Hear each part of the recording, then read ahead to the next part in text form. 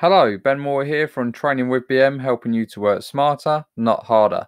And in today's video, I want to share with you a quick Chromebook tip that I found recently that saved me a lot of time, and I hope it will you as well.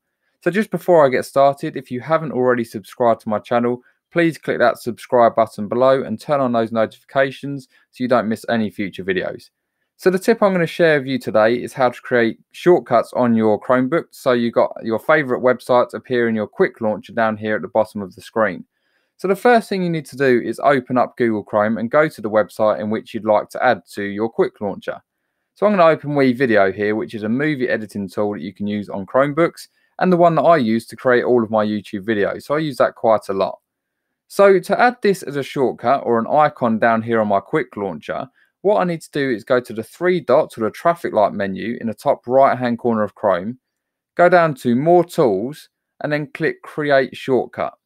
When I click create shortcut, it's going to ask me for the name of which I'd like to name the shortcut. So I'm going to leave that as WeVideo.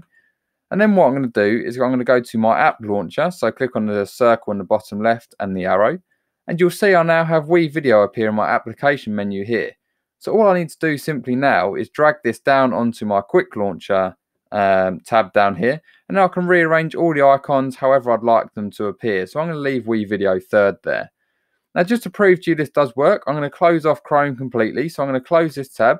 So Chrome is now completely closed. And I'm going to click on my WeVideo tab at the bottom of my screen here, which will take me directly to the page I was just on just a moment ago. So if it does require a login, if you've logged in recently, it should log you straight in. If not, it will ask you to log in using your Google account again.